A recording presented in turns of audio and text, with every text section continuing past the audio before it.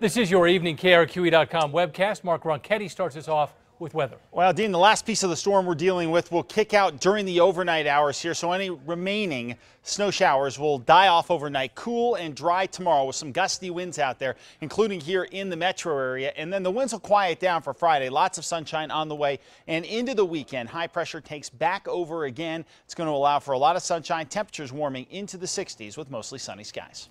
Thanks, Mark.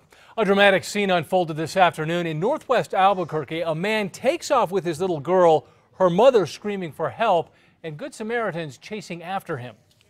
Some lady started screaming frantically, you know, they abducted my kid, they abducted my kid, and at that same time, the the car, a silver Pontiac, pulled out, driving, you know, with the passenger door open, and his first instinct was to take off and follow him. It all started at the McDonald's at 4th and Montano. Witnesses say the child's mother is the suspect's ex-girlfriend and was giving him a ride when he started threatening her. At some point, the woman got out of the car, and police believe the man even tried to run her over. Witnesses say the suspect then took off, driving fast, about 50 or 60 miles an hour, with the little girl in the car. The suspect later stopped the car, got out, and took off running. That's when Pardo helped the little girl, who was still crying, in the car.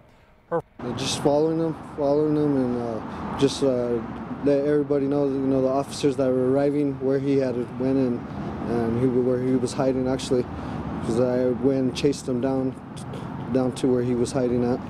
An APD canine also helped police find the suspect who has been identified as 25-year-old Robert Francisco Lopez.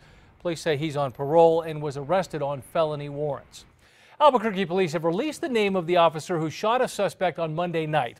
He is Brian Pitzer, and he's been with APD since 2007.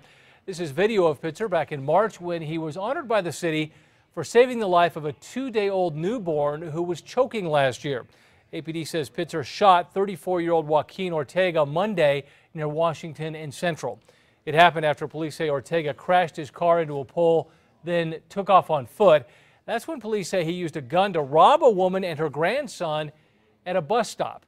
Witnesses say Ortega then pointed the gun at another man and demanded a ride and that's when Officer Pitzer arrived at the scene. APD says when he ordered Ortega to drop the gun, Ortega refused and pointed it at the officer.